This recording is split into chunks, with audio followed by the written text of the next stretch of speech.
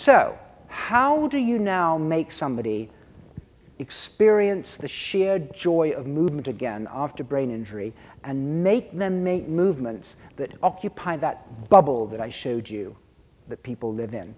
Right? So we wanted to short circuit task specificity by simply having people be a dolphin that they control with their arms in such a way that they're swimming about so gloriously that they're not aware that they're traversing that whole statistical bubble that will be useful for all movements. Does that make sense?